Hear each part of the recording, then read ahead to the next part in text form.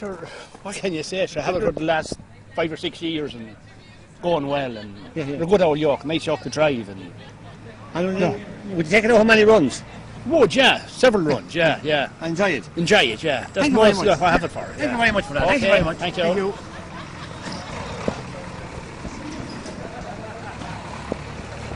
So we have another gentleman here. I don't think this is his tractor. Hello, Paddy. How, How are are you going you? on? Not too bad. Uh, have your tractor here today? I have a tractor. I have two of them here today. Yeah, well, just show me how they are. then We'll Well, see. I've only one of them here at the minute. Yeah, well, show me the one you have there. One three five. Four four thousand we hear now. Start up with your name. Now here we are, Massey Ferguson 135. Lovely, lovely tractor. And of course the cab is very much part of the of the 135 era. We'll, we'll talk to the owner here now at the moment. Yeah, well, she's uh, 1969, and I have her uh, 22 year that tractor.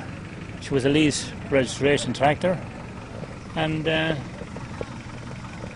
what can I say about Massey Ferguson? One of the best tractors we're going. Yeah, that's so everyone everyone has the same thing to say about the Massey Yeah. Ferguson. Yeah. Okay, that's great. Enjoy your day. Thank you very Thank you much. very much. Thank you. I'll get Tom here. Now we have a lovely uh, Nuffield Universal here, and we'll, we'll talk to the owner here for a second, and maybe he'll tell us a few things about it. Paddy. 1947 M4 TPO